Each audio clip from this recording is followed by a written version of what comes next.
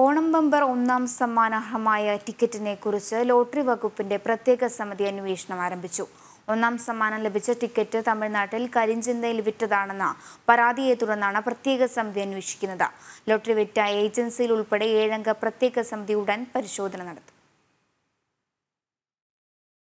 സംസ്ഥാനത്തെ ലോട്ടറി ഏജൻസിയിൽ നിന്ന് കമ്മീഷൻ വ്യവസ്ഥയിൽ വാങ്ങി തമിഴ്നാട്ടിൽ വിറ്റ ടിക്കറ്റിനാണ് ഒന്നാം സമ്മാനം ലഭിച്ചതെന്നായിരുന്നു പരാതി. ടിക്കറ്റ് വിറ്റത് കരിഞ്ചന്തയിലാണെന്നും വിൽപ്പന നടത്തിയ വ്യക്തിക്കുൾപ്പെടെ സമ്മാനം ലഭിച്ചിട്ടുണ്ടെന്നും തമിഴ്നാട് സ്വദേശിയാണ് ലോട്ടറി വകുപ്പിന് പരാതി നൽകിയത്. കേരളത്തിലെ ലോട്ടറി മറ്റ് സംസ്ഥാനങ്ങളിൽ വിൽക്കാൻ അനുവാദമില്ല. കേരളത്തിന് പുറത്തുള്ള ആൾക്കാർക്കാണ് ലോട്ടറി അടിച്ചതെങ്കിൽ വ്യവസ്ഥകൾ പാലിച്ച് രേഖകൾ ഹാജരാക്കുന്ന പ്രകാരമായിരിക്കും സമ്മാനം നൽകുക.